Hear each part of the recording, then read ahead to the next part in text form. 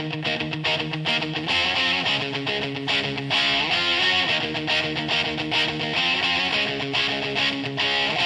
used to be an iron horse twenty years ago. Used to bring the mail to me through the ice and snow. I've sat alone and watched her steaming through the night.